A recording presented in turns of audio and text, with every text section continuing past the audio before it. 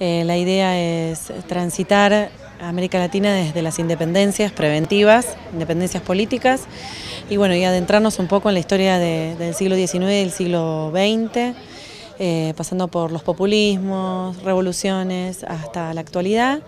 Y bueno, y repasando un poco cuáles fueron el derrotero de los derechos civiles, los derechos políticos y los derechos eh, sociales en América Latina hasta la actualidad.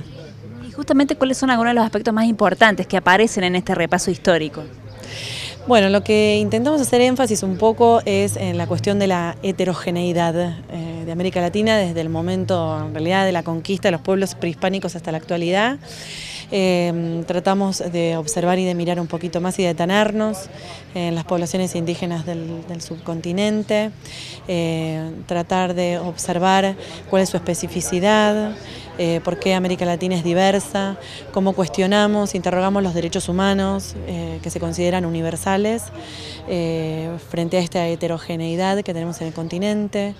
y bueno, y discutir un poquito eh, precisamente esa, la universalidad de los derechos humanos y pensar el derecho consuetudinario de los pueblos indígenas.